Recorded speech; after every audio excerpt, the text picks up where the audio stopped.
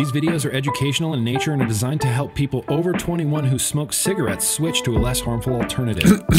All right. Well, what's up, everybody? It's Grimm Green back here. And today, listen, we're going to be talking about flavor bans. And I know that this is something that us vapers are really sick of hearing about, but stick with me because this video is actually about a large, brand new study. Flavor bans are like the go to restriction for nicotine vaping. I mean, other than taxes, other than taxes, it's flavor ban. The logic being that flavors must be what are attracting underage people to vaping. So theoretically, banning those flavors would stop underage use and still allow adults to have, you know, tobacco vape flavor. I'll put some links in the description of this video to the other times I talked about flavor bans, but like I said, today's video is unique because we're going to be talking about a big, new, large-scale study done by health researchers Abigail Friedman, you know, Yale School of Public Health, Alex C. Liber, Georgetown University Cancer Prevention and Control Program, Alyssa Crippen, Yale School of Public Health, and The Economist, Michael Pesko, University of Missouri Department of Economics. So essentially what they did in this study was use nationwide flavor policy data. So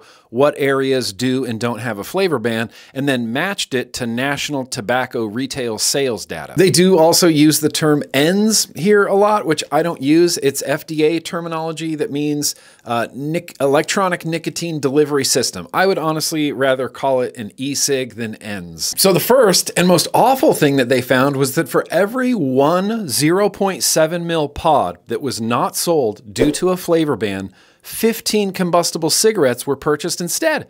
Yeah, uh, they said that any public health benefits of reducing ENDS use through flavor bans may be offset by public health costs from increased cigarette sales. So, the Mike Bloomberg funded Campaign for Tobacco Free Kids, who argue in favor of local and nationwide flavor bans through their actions, are actually causing more kids to smoke cigarettes. But that's not even all they've found so far in this working paper, and I have to thank Reason Magazine for getting access to the full paper and posting like a good portion of the body of it. They also found, which I'm gonna end up saying uh, uh like 18 times in a row, but they also found that the general trend is like this seesaw situation. States that impose restrictions on flavored vaping and e-cigarettes end up in the trend where, yeah, e-cigarette sales drop, but cigarette sales go up. They also found that the longer that the flavor ban goes on, you know, over a year or more,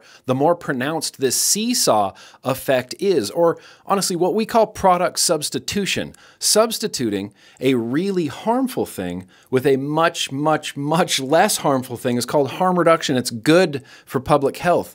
Flavor bans are achieving literally the opposite of this. They also found that a significant portion of the increased cigarette sales due to a flavor ban on vaping and e-cigarettes comes from tobacco flavored e-cigarettes not menthol. So it's not just about menthol or about flavors. They say this is a broader substitution effect. They also found, okay, I think that's actually the last one, but they also found flavor restrictions seem to impact sales across all cigarette age profiles, even the cigarettes popular among underage users. They call it a concerning pattern, suggesting that these policies might not be as effective as people think in helping protect youth health. So here's the thing. I was a little bit hesitant to share this right now, only because this is currently a working paper, meaning that it has not been peer reviewed as of this date. But when that changes, I'll obviously post the full paper in the description. Both Abigail Friedman and Michael Pesko already have published and peer reviewed papers on almost this exact same topic, just not this exact methodology of this paper, I believe. I will never deny that underage people are getting their hands on vaping. It would be foolish to think that they aren't, and it's something that should be discouraged. Was it ever an epidemic of underage use? Uh, Look, no youth should be using nicotine. That's why we have 21 and over laws nationwide for literally all nicotine products.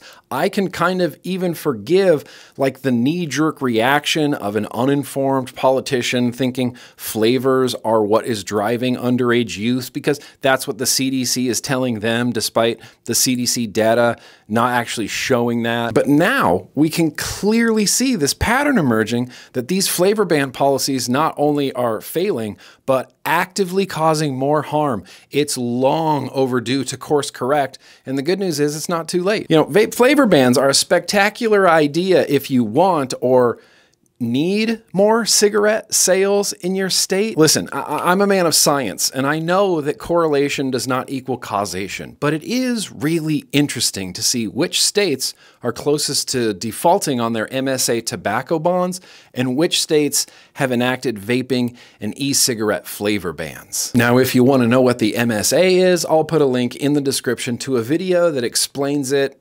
flawlessly. Drop me a like if you found this informative. Consider hitting that subscribe button because there is a lot of tobacco, nicotine, and vape related misinformation out there, and ain't nobody bothering to correct it. This has been a Grimm Green video. Let's stay cigarette smoke free literally every single day. it's like 10:30 and I'm uh, just gonna smoke, so on flavored vaping flavored vaping. Flavored vaping.